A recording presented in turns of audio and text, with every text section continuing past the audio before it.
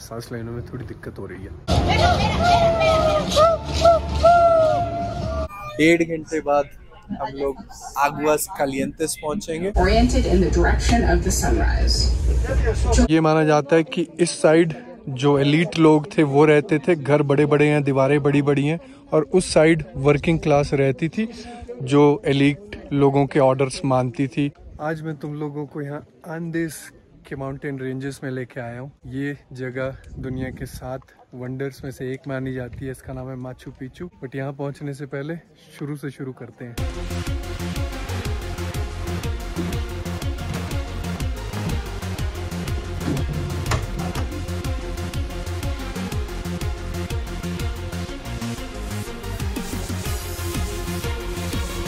सुबह के साढ़े तीन बज रहे हैं।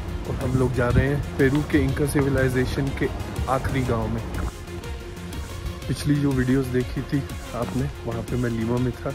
तीन मीटर की हाइट सी लेवल से, यहाँ पे कुस्को 3800 मीटर की हाइट सी लेवल से।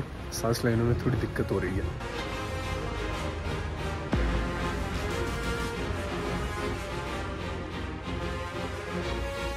सपोजिटली यहाँ से वन वनचाक से हम लोग की बस लेनी है। ओइजा तांबा ओइजा तांबा कुछ नाम है मेरे से प्रोनाउंस नहीं हो रहा है। और ट्रेन स्टेशन है। पता नहीं बस किधर है। यहाँ पे एक कमरा है खोल के देखते हैं सीन है आई थिंक ये वेटिंग रूम है।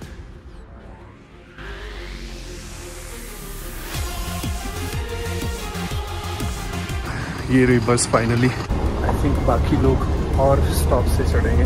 वनचाक से दो घंटे की बस राइड ओजाई तांबो पहुँच गए हैं।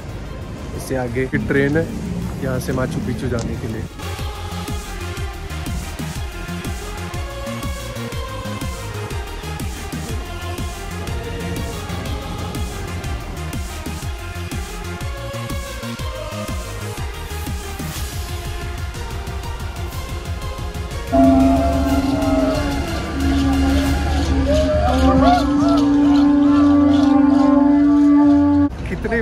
पहाड़ है हिमाचल जैसी फीलिंग आ रही है इधर। What you getting Kish. वो जानता ही तांबो में अपने पास 10 मिनट थे तो 10 मिनट के अंदर अंदर हमने कॉफ़ी पी सुबह की कुछ कुछ पिस्ताशियो खा रहे हैं। और एक कीश खा रहे हैं जब तक ट्रेन रेडी होती है ट्रेन बोर्ड करेंगे के बाद राइड होएगी माचू पिचू तक। सो so गुड अगर कंटेंट पसंद आ रहा है तो लाइक शाइक सब्सक्राइब सब्सक्राइब शेयर वूर करो जनता के साथ। और जानता ही तांबो से माचू पिचू जाने के लिए दो ट्रेन कंपनीज़ चलती हैं, एक का नाम है इंका रेल, एक का नाम है पेरू रेल। जो इंका रेल है, वो आप ये देख रहे हो। जो पेरू रेल है, वो और फैंसी है, जिसमें हम लोग जाएँगे। उसमें से व्यूज़ बहुत अच्छे आते हैं। थोड़ी देर में वो भी दिखाता हूँ आपको। वो जानता ही Tambo train station almost 2800 metre की हाइट पे है, सी लेवल से। अभी हम लोग पेरू रेल में बैठे हैं और जनताई तांबो स्टेशन से। डेढ़ घंटे बाद हम लोग आगुआस कालियंतेस पहुँचेंगे। वहाँ से एक और बस लेंगे, माचू पिचू पहुँचने के लिए। अभी के लिए ट्रेन के व्यूज़ एंजॉय करो।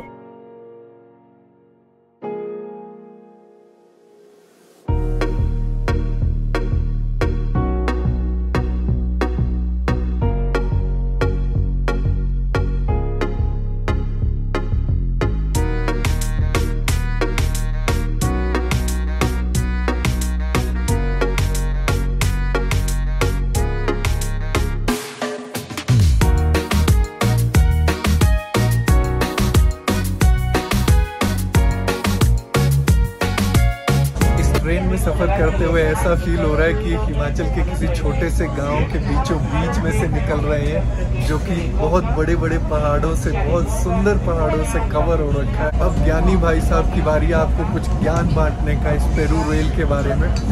इसकी स्थापना 1999 में हुई थी। माचू पिचू सिर्फ़ ट्रेन के मोड से जा सकते हैं, आप रोड से माचू पिचू नहीं जा सकते हो। और जो पेरू रेल है, दुनिया की थर्ड हाईएस्ट रेल लाइन है। पहली I think Qinghai Tibet rail line है, उसके बाद Lima to Huancayo rail line है, उसके बाद तीसरे नंबर पे ये रेल लाइन आती है। आपको मैं जब ज्ञान बांट रहा था तो यहाँ रिफ्रेशमेंट सर्व हो रही है। मैंने कोका टी मांगी है। Coca tea coca leaves tea ये रही कोका लीव्स टी यहाँ पर हम लोग 2800 मीटर की हाइट पे है सी लेवल से। तो ऑक्सीजन की हल्की सी कमी रहती है। जो यहाँ पे लोग होते हैं, वो भी ट्रेडिशनली कोका लीव्स को बहुत तरीकों में कंज्यूम करते हैं। सूप में भी डालते हैं टी में भी डालते हैं और कुछ कैंडीज भी बनाते हैं उसकी। ये इसलिए है कि इससे आपके हार्ट को हल्का सा बूस्ट मिल हल्का सा तेज धड़कना शुरू करता है, जिससे कि आपका ऑक्सीजन और जो ब्लड होता है, वो पूरी बॉडी तक आराम से पहुँच सकता है। तो हम लोग फोकट ही एंजॉय करते हैं, थोड़ा बूस्ट देते हैं अपने आर्ट को।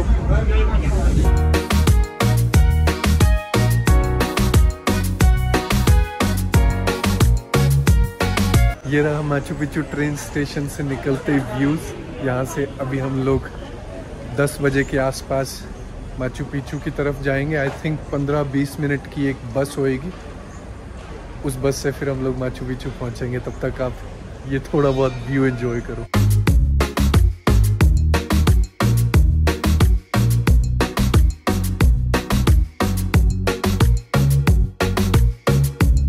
वैसे तो इस ट्रेन स्टेशन का नाम आगुआस कलियंतिस है बट इसको माचू पिचू भी बोल देते हैं क्योंकि यहाँ से माचू पिचू बस अब पंद्रह बीस मिनट का रास्ता है। ट्रेन स्टेशन उधर है, उधर से इधर को आते हैं। एक और छोटी सी बस पकड़ने के लिए पंद्रह बीस मिनट की। यहाँ पे मार्केट टाइप की लगी हुई है। मार्ता चेक कर रही है कि अगर हम गाइड के साथ जाएँगे तो एटलीस्ट थोड़ी नॉलेज हो जाएगी जगह के बारे में। और ये इस जगह की छोटी सी मार्केट की वाइब्स है।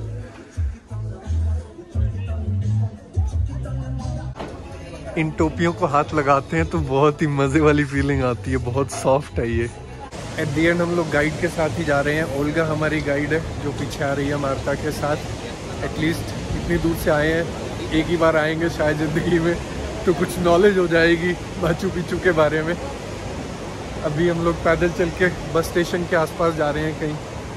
आधे घंटे में बस निकलेगी माचू पिचू के लिए। ओल्गा हमारे लिए लाइन सेव करेगी उधर बस के लिए लाइन लगनी शुरू हो गई है। तब तक हम लोग कुछ घूमते फिरते हैं देखते हैं क्या है सीन इधर। How excited are you Super excited. ये आगुअस कलियंतिस का मेन टाउन स्क्वायर है, छोटा सा, छोटे से टाउन का। यहाँ पे सारे लोग हैंग आउट कर रहे हैं माचू पिचू जाने से पहले।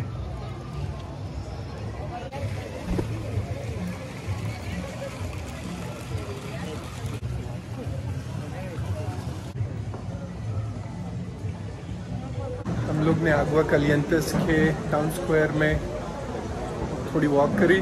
अब बस ले रहे हैं। बस कुछ ही मिनटों में माचू पिचू पहुँचने वाले हैं।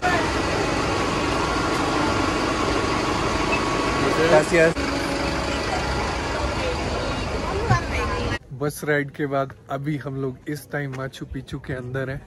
जो पहली चीज़ ओल्गा ने हम लोग को दिखाई एंटर करते हुए, वो ये कुछ कमरे हैं जहाँ इनका लोग अपना खाना प्रिजर्व करके रखते थे। जो इन कमरों की छतें हैं, वो ओरिजिनल नहीं है। जो इनकी दीवारें हैं, वो ओरिजिनल हैं। जो छतें हैं वो हर चार साल में ये लोग चेंज करते हैं। माचू पिचू अबंडन था पंद्रह फिफ्टीन सेंचुरी से लेके 1911 तक। जब 1911 में येल यूनिवर्सिटी के archaeologist ¿Cómo se llama el, Hiram Bingham को ये जगह मिली। ओल्गा बता रही है कि माचू पिचू में यहाँ पे इनका लोग इसलिए आते थे क्योंकि वो जो अपर सुपर पावर्स होती थी, उनके कांटेक्ट में रहना चाहते थे। वो बिलीव करते थे कि सबसे ऊपर भगवान होता है, उसके बाद एक बर्ड होती है कॉन्डोर करके, वो तीन हज़ार मीटर से पाँच हज़ार मीटर की रेंज पे ही रहती है और माचू पिचू 2800 मीटर की रेंज पे है। इनका लोग बिलीव करते थे कि 2800 मीटर की रेंज पे माचू पिचू की जियोग्राफी यूज़ करके वो लोग उस कॉन्डोर बर्ड के थ्रू भगवान के टच में आएँगे और पावरफुल बनेंगे और दूसरे सिविलाइजेशंस हैं जो उनको कॉन्कर करेंगे। ये भी बिलीव किया जाता है कि जो माचू पिचू है वह वहाँ सिर्फ़ जो विज्ञान लोग होते थे, जैसे उस टाइम के इंजीनियर्स उस टाइम के डॉक्टर्स उस टाइम के जो भी नॉलेजेबल लोग सिर्फ़ वो आते थे सेरेमनीज करने और एडुकेशन गेन करने। पहली बारी ज़िंदगी में मैं आपको एक और एनिमल दिखा रहा हूँ और मैंने भी पहली बारी देखा है लामस और ये यहीं पे रहती हैं। और ये बिलीव किया जाता है कि ये लोग घास साफ़ करती हैं यहाँ पे। ऐसे जैसे बॉस लोग होते हैं कि हमारी जगह तुम क्या कर रहे हो इधर? एडुकेशन गेन करने सेरेमनीज करने और भगवान के ऊपर सुपर पावर के साथ कांटेक्ट में आने के लिए वो लोग आते थे, जो इनका इनका लोगों का जो कैपिटल मेन हब था वो कुस्को में ही था। कुस्को जहाँ हम लोग रुके हुए आर्कियोलॉजिस्ट और गाइड्स का यहाँ पे मानना है कि जो माचू पिचू अभी हम लोग देखते हैं, वो सिर्फ़ 60 से 70 परसेंट देखते हैं। और जो रेस्ट ऑफ़ माचू पिचू है, वो अभी भी ज़मीन के नीचे दबा हुआ है। ये लोग धीरे धीरे और नया माचू पिचू एक्सप्लोर कर रहे हैं बट अभी इस पॉइंट ऑफ़ टाइम पे इनका मेन जो फोकस है वो है एग्जिस्टिंग को प्रोटेक्ट करना एग्जिस्टिंग को कंजर्व करना, क्योंकि काफ़ी इंसिडेंट्स हुए हैं कि पत्थर गिर गए, भीड़ की वजह से कुछ डिस्ट्रॉय हो गया। तो अब ये लोग सिर्फ़ प्रिजर्व करते हैं मेजर फोकस और जो लोग भी आते हैं बैचेस में आते हैं। पहले ऐसा कुछ नहीं था, पहले जब मर्ज़ी, जितने मर्ज़ी लोग आए अब लिमिटेड नंबर ऑफ़ लोग आते हैं। यहाँ माचू पिचू का ये मेन गेट है जो कुस्को से कनेक्ट करता था। यहाँ पे छः और गेट हैं बट इसको मेन गेट बोलते हैं क्योंकि जो मैसेंजर्स होते थे, उस उस टाइम वो यहाँ से भाग के जाते थे। ये पूरी ट्रेल यहाँ से लेके कुस्को तक बनी हुई है। पैंतालीस किलोमीटर जब हम ट्रेन से आए हैं, वो है इमेजिन करो, ये कितना होगा। तो इसको इम्पोर्टेंट इसलिए माना जाता है क्योंकि जो मैसेंजर लोग होते थे, वो यहाँ से भाग के जाते थे और मैसेज डिलीवर करते थे। जो किंग होता था कुस्को कैपिटल में। और वहाँ से अगर सेंड करता था मैसेज कोई किंग तो यहाँ आते थे जो यहाँ पे उनके साइंटिस्ट इंजीनियर्स एग्रोनॉमिस्ट उस टाइम के होते थे उनको मैसेज डिलीवर करने के लिए। ये जितनी भी आप कंस्ट्रक्शन देख रहे हो इधर माचू पिचू में ये सभी ओरिजिनल कंस्ट्रक्शन है। जब स्पेनिश लोग अर्ली फिफ्टीन सेंचुरी में उन्होंने अमेरिकन लैंड डिस्कवर करी तो उन्होंने मास डिस्ट्रक्शन करना शुरू करा सारे लोगों को मारना शुरू करा। जितनी भी कंस्ट्रक्शन कंस्ट्रक्शन थी यहाँ की ट्रेडिशनल इंडिजिनस लोगों की या इनका सिविलाइजेशन की या जो भी और सिविलाइजेशंस थी यहाँ अमेरिकास में साउथ अमेरिका में उनको सबको डिस्ट्रॉय करना शुरू करा स्पेनिश लोगों ने। माचू पिचू सेफ़ इसलिए रहा क्योंकि जो इनका लोग थे उनको पता लग गया था 1520s में कि स्पेनिश लोग आए हैं और वो सब डिस्ट्रॉय कर रहे हैं। माचू पिचू एक सेक्रेड प्लेस थी इनका लोगों की, जहाँ पे वो एडुकेशन सेरेमनीज और इम्पोर्टेंट एक्टिविटीज़ करते थे। तो इसको बचाने के लिए वो सब लोग यहाँ से चले गए। इसकी वजह से स्पेनिश लोगों को माचू पिचू नहीं मिला और ये अभी तक सेफ़ है। और इनका लोगों ने जब माचू पिचू अबैंडन किया अबैंडन करने से पहले उन्होंने काफ़ी चीज़ें जला दी। डिस्ट्रॉय कर दी क्योंकि वो नहीं चाहते थे कि स्पेनिश लोग आए और उनको इनका सिविलाइजेशन की नॉलेज की वजह से उन्होंने काफ़ी चीज़ें खुद भी डिस्ट्रॉय कर दी थी। और जो आज की डेट में माचू पिचू बचा है वो कहा जाता है माना जाता है आर्कियोलॉजिस्ट के हिसाब से। ये सिर्फ़ 40 से 50 परसेंट माचू पिचू है जो ओरिजिनली एग्जिस्ट करता था। और उस 40 से 50 परसेंट में से जो हम देख रहे हैं जो आज की डेट में डिस्कवर किया गया है खुदाई करके वो सिर्फ़ 60 से 70 परसेंट है। ओल्गा के पास यहाँ पे कुछ इंटरेस्टिंग पुरानी फ़ोटोज़ हैं। ये हायराम बिंगम है जिसने डिस्कवर किया था माचू पिचू को। आई I मीन mean, यहाँ पे लोकल लोगों को पता था बट जो दुनिया को पता लगा वो उसने बताया। This is the sundial. It's ये सारी पुरानी फ़ोटोज़ है माचू पिचू की जब एक्सपीडिशन शुरू ही हुआ था। नेशनल ज्योग्राफिक और काफ़ी आर्कियोलॉजिस्ट ने इकट्ठे मिलके ये डिज़ाइन बनाया है। इन्होंने इमेजिन किया कि उस ज़माने में वो लोग ऐसे रहते थे। यहाँ पे सिविलाइजेशन का साइज़ देख के जो रिसर्चर्स हैं, उनका मानना है कि इधर 600 से हज़ार लोग रहते थे और जब वो यहाँ से भाग के गए, तब तक भी कंस्ट्रक्शन कंटिन्यू हो रही थी, जो आप मेरे पीछे बड़े पत्थर देख ये वाले पत्थर। ये माना जाता है कि इन इनको तोड़ के वो कंस्ट्रक्शन कर रहे थे। इनके नीचे बहुत सारे टूल छुपाए हुए थे। और जब इनका लोगों को पता लगा कि स्पेनिश लोग आए हुए हैं और सब कुछ डिस्ट्रॉय कर रहे हैं, वो लोग सब कुछ यहाँ पे छुपा के भागे। इस छोटी सी जगह में अलग अलग क्लाइमेट इन लोगों को अलग अलग टाइप की क्रॉप ग्रो करने में हेल्प करता था और उनको उस क्रॉप के ऊपर रिसर्च करने में हेल्प करता था। और इसकी वजह से इनका सिविलाइजेशन को उस टाइम की one of the advanced civilisation माना जाता है, जो कि इतनी छोटी जगह पे इतने डिफरेंट टाइप की क्रॉप्स ग्रो कर रही थी उस टाइम मार्ता को ठंड लग रही है, अब स्वेटर पहन रही है, मैं भी पहन लेता हूँ। ये एलिट लोगों का इलाका है और यहाँ उनका गेट काफ़ी बड़ा है, काफ़ी फैंसी है उस टाइम के हिसाब से। और पहले हम उनका एरिया देखेंगे और उसके बाद दूसरे जो वर्किंग क्लास थी, उसके एरिया में भी जाएँगे।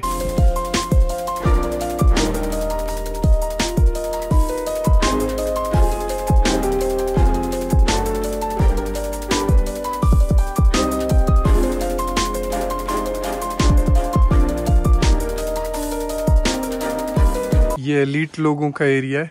ऊपर की साइड उनके घर है। यहाँ पे उनका पर्सनल स्टोरेज एरिया होता था, जहाँ पे वो खाना स्टोर करते थे। ये जो विंडोज़ हैं, ये एयर फ्लो के लिए, जिससे कि ह्यूमिडिटी ना हो इधर उनके खाने में और सेफ़ बचा रहे।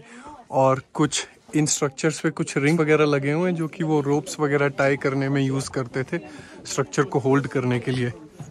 अभी जिस एरिया में हम लोग, ये जो हाई क्लास सोसाइटी थी उस टाइम पे उसके घर हैं। ये जहाँ मैं एंटर कर रहा हूँ ये किचन है।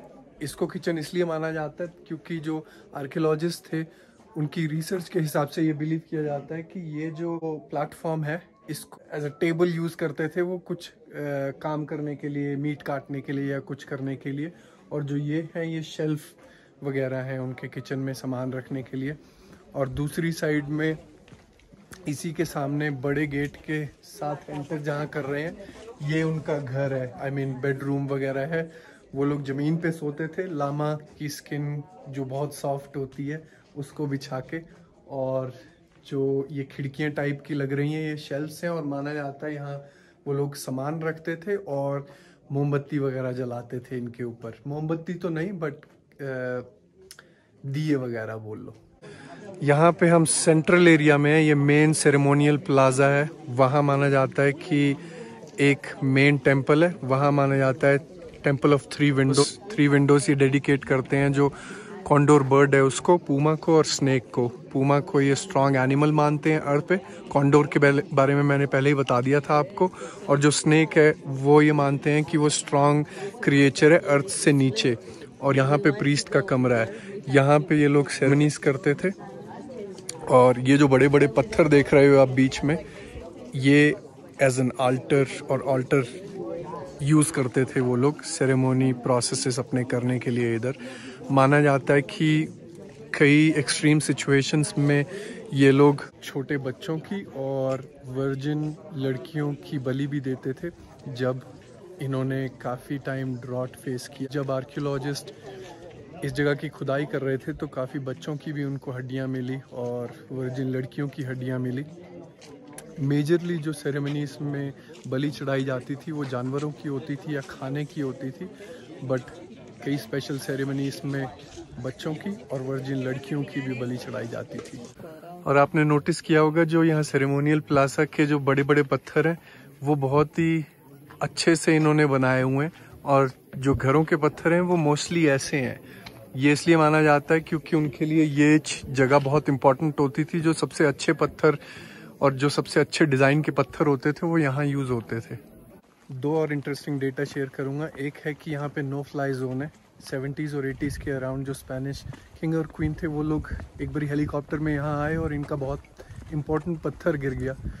जब उन्होंने लैंड करा, उसके बाद से इन्होंने नो फ्लाई जोन डिक्लेयर कर दिया। और दूसरा इंटरेस्टिंग फैक्ट ये है कि ये जो seven wonders of the world है उसमें से एक है माचू पिचू जो ये एरिया है ये माना जाता है ये रियूनियन पॉइंट है वो वाला माउंटेन क्लाइम करने से पहले जो इनका लोग थे वो यहाँ पे अपना जो स्पेशल सेरेमनीज होती थी वो सिर्फ़ उस माउंटेन पे होती उस स्पेशल सेरेमनी के लिए जो जो भी वो लोग प्रिपेयर करते थे यहाँ प्रिपेयर करते थे। ये एरिया वर्किंग क्लास का है। यहाँ पे उनकी इंडस्ट्रीज़ टाइप की होती थी। यहाँ पे वो टेक्सटाइल बनाते थे, अपना रोप का काउंटिंग सिस्टम जो होता था, यहाँ पे डेवलप करते थे। और वो लोग यहीं पे रहते थे, इन घरों में, जो कि बहुत छोटे हैं एज़ कंपेयर टू जो आपने पहले जो एलीट क्लास के घर देखे। आज के लिए इतना ही बहुत था। अभी हम लोग एग्जिट कर रहे हैं लंच वगैरह करें। अब के लिए चलते हैं, चंगा बाय